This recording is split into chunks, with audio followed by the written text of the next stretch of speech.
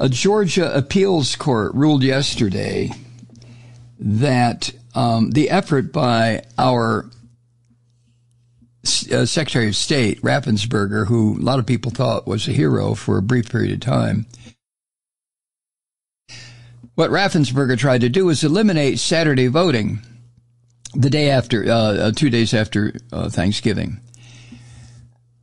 That had been established by the state legislature here, I, I think. But it, has been in effect, and I, I have to tell you, I live here, so I know what I'm saying. Saturday voting has been a, a, a popular way for working class black folk to get to the polls. In fact, for working class black people who here in the South don't have the protection of a union, don't have this, don't have that. They have to work every fucking day. So on Saturday, like Sunday voting, those are the days when black folk can get to the polls. White people can go any goddamn time they want to. Hey, boss, I'm going to go vote. Okay, see you later. So it was established here, uh, I'm not sure how long ago, a number of years ago, that voting on Saturday, two days after Thanksgiving, would be acceptable, be allowed, of course. Because we begin early voting tomorrow, Wednesday, the day before Thanksgiving. So, our Republican Secretary of State, these Christian fascists, Brad Raffensperger, had told county election officials in the state here that early voting could not be held on Saturday because state law says, now listen up, Georgia state law says it's illegal to vote on a Saturday if there is a holiday on the Thursday or Friday preceding it. Well, Thursday is Thanksgiving, and Friday is a state holiday. What state holiday? Well, the state holiday that is acknowledged here in Georgia on the Friday after Thanksgiving, or the uh, Saturday after, uh, I'm sorry, Friday after Thanksgiving, that state holiday is referred to as a state holiday. It used to be called Robert E. Lee Day. Yes, amen. Robert E. Lee fucking day. Yeah, and about eight, seven, eight years ago, the governor of Georgia said enough of that shit. We're going to get rid of that, at least get rid of the name. We'll still keep it as a holiday, but we're going to call it state holiday. State holiday. Uh, what? Nothing, man. Just state holiday. But us white folks, us sons of Confederate veterans will know, psst, nudge, nudge, wink, wink. It's really still Robert E. Lee birthday, but we don't want the coloreds to know about it. wow. The uh, campaign of Raphael Warnock and the Democratic Party of Georgia and the Democratic Senatorial Campaign Committee sued last week to challenge what Raffensperger was trying to do. What he was trying to do was to take away a very important voting day that is acknowledged by a lot of folks, but primarily, I'm going to take a risk and say primarily, by black folk in this state to go ahead and vote. So Raffensperger saw a way to give a leg up to this idiotic fucker named Herschel Walker, who is a uh, candidate for the Republican Party. ha! ha, isn't that funny? Yes, indeed. So, Warnock's campaign and the Democratic Party of Georgia and the Democratic Senatorial Campaign Committee all sued last week to challenge what the Christian fascist Brad Raffensperger was trying to do. Raffensperger was trying to do the same thing that Brian Kemp, the governor of Georgia, when he was Secretary of State, what he did, what Brian Kemp did. He eliminated the right to vote for about a quarter of a million black Georgians and got away with it. So Raffensperger, being another Christian terrorist, he thought, well, what the fuck? I guess I can do it too. All these uh, people think I'm a hero because I wouldn't go along with Trump's little scheme. But that's because I don't like Trump. Actually, I don't like Negroes either, especially the ones who think they're going to reelect Raphael Warnock. Oh no. I'm going to hold my nose and vote for, you know, the football player. Jesus, I hate these people.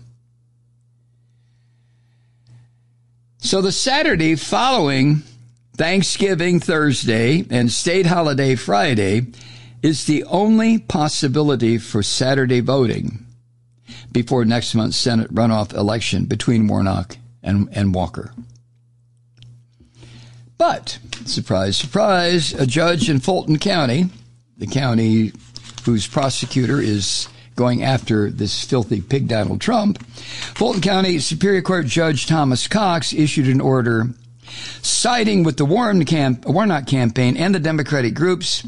And this judge found that the law cited by the state regarding Saturday voting after a holiday does not apply to a runoff election. Ha ha ha, motherfuckers. Y'all try to, to, to, to find a way to get the, again, to get the nose of the camel under the tent flap. You racist pigs. Well, this judge found a way to punch the camel right in the nose and back him back out. The state laws regarding Saturday voting after a holiday doesn't apply in a runoff election. Hardy har har har. So, lawyers for the white regime that runs Georgia, the state of Georgia, filed an appeal yesterday with the Georgia Court of Appeals. And they asked the court to immediately issue a stay against the order that came out of Fulton County. The uh, the White Devils argued in the court filing that the, the ruling by the uh, uh, Fulton County uh, judge was erroneous for procedural reasons, but also that the judge was wrong to consider the runoff a separate type of election rather than a continuation of the general election. In a one sentence order yesterday, the Georgia Court of Appeals raised a middle finger to Raffensperger and told him to get the fuck out of his of their courtroom. Actually, uh, wasn't a middle finger raised, although I like to put it that way. In a one sentence order yesterday, the Georgia Court of Appeals declined to stay the lower court ruling. So, so, uh, and according to what I have here, election law that was passed in this miserable state, a miserable state where it concerns, you know, how the state is run by the white folk. But back in 2021, last year, there was election law uh, passed here that compressed the time period between the general election and the runoff to four weeks. Before that, it, it, was a longer period of time. Now, I have no problem with that, but, but Thanksgiving falls in the middle of this compressed time. And I think the plan was, well, if, if we acknowledge Thanksgiving, which is a terrorist holiday, it really is. Come on, think about it. I hope a lot, I, I, would imagine a lot of people now when they celebrate Thanksgiving, they're just thankful for family and friends and, and uh, a, a, roof over their head and a, a hot meal. But back in the day, remember what Thanksgiving was all about. Well, we sat down with the Injuns and they showed us how to cook turkeys and boil up uh, maize and yada, yada, yada, while we were figuring out ways to commit genocide against them and take their land.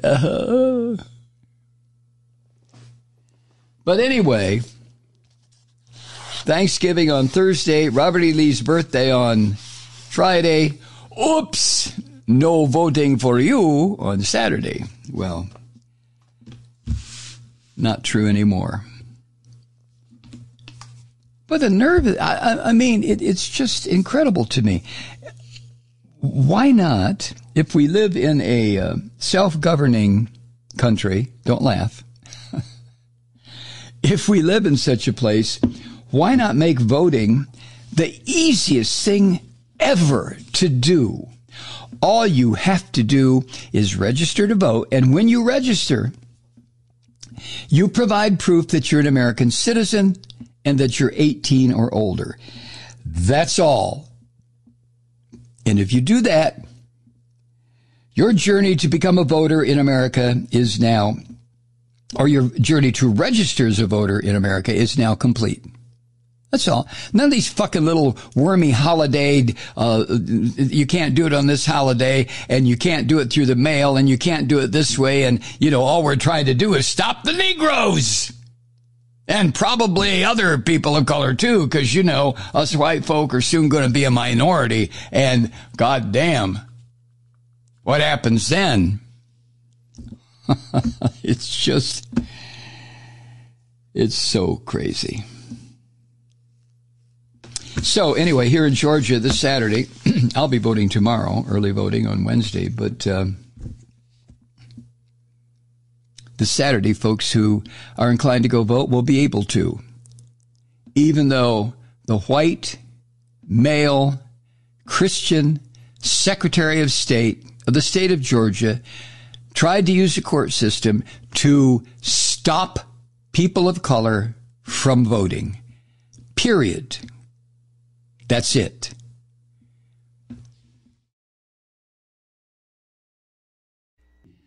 Hi, Truth Seekers. Mike Malloy here. You know, the Progressive Voices Network brings you commercial free commentary from today's leading progressive radio hosts and pundits, like me, Mike Malloy, 24 hours a day.